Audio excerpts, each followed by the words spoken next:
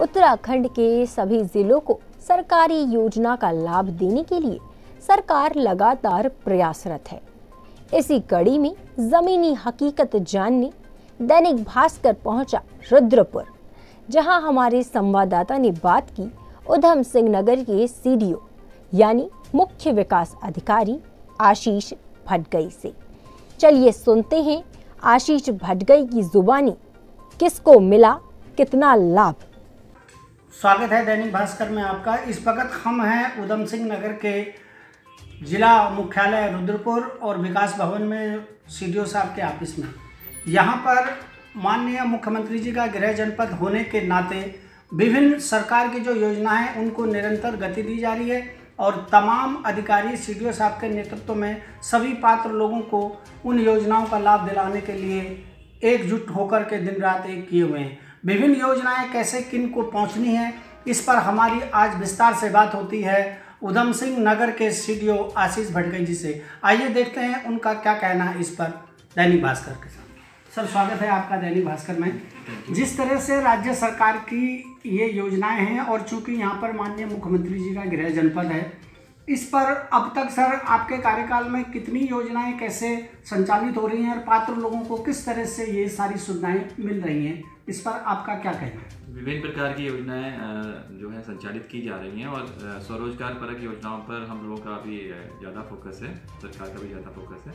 तो उसके क्रम में जो है मुख्यमंत्री स्वरोजगार योजना है, मुख्यमंत्री स्वरोजगार योजना नैनो है, वो भी संचालित की जा रही है। इसके अतिरिक्त जो है पर्यटन से रिलेटेड जैसे वीर चंद सिंह गढ़वाली पर्यटन स्वरोजगार योजना है, वो संचालित की जा रही है।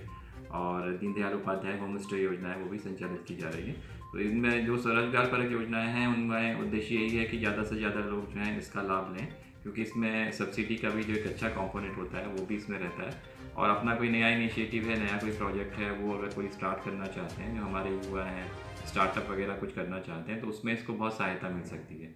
तो उसी के क्रम में हम लोगों के पास अभी थ्री हंड्रेड प्लस जो है लोगों ने इसका लाभ लिया है मुख्यमंत्री स्वरोजगार योजना का। और क्योंकि इसमें अच्छी सब्सिडी मिलती है तो इस लाभ से वो अपना एक स्वतः एक रोज़गार तो जनरेट कर ही सकते हैं। साथ ही साथ और लोगों को भी अपने साथ जो लोग हैं, जो टीम है, उनको भी एम्प्लॉयमेंट दे सकते हैं। तो ये कार्रवाई इसमें की जा रही है। इसके अतिरिक्त जैसे पी एम है, प्रधानमंत्री एम्प्लॉयमेंट जनरेशन प्रोग्राम तो उसमें भी काफ़ी आवेदन आते हैं, उसका भी लोग लाभ लेते हैं। समाज कल्याण से भी काफ़ी जो है स्वरोजगार परक योजनाएँ वो निरंतर चलती रहती हैं। तो उसमें भी काफ़ी जो लोग हैं, वो एप्लीकेशन आ रही हैं, कार्रवाई हो रही हैं। इसके साथ ही साथ स्किल डेवलपमेंट का जो कॉम्पोनेंट होता है, उस पर भी हम लोग वर्क कर रहे हैं। और इसके डेवलपमेंट के जो प्रोग्राम हैं, वो भी चल रहे हैं। तो उसमें भी काफ़ी युवा जो हैं, उसमें जो काफ़ी यंगस्टर्स हैं, वो भी उसमें पार्टिसिपेट कर रहे हैं और कार्रवाई कर रहे हैं। इसके अतिरिक्त जैसे हमारा फ्लैगशिप कार्यक्रम होते हैं, जैसे मनरेगा है और एनआरएलएम है तो एनआरएलएम में भी काफ़ी सारी महिलाएँ उसमें जुड़ी हुई होती हैं। और लगभग हमारी जो है पाँच हज़ार के करीब समूह हैं तो महिला समूह हैं तो वो महिला समूह कुछ ना कुछ ऐसी आजीविका सृजन की गतिविधियाँ कर रहे हैं। तो ये थी सरकार की कुछ ऐसी योजनाएँ जिसने लोगों को बनाया है आत्मनिर्भर और दिया स्वाभिमान से जीने का हौसला, जिसके लिए लाभार्थी अभी भी कर रहे हैं सरकार का आभार।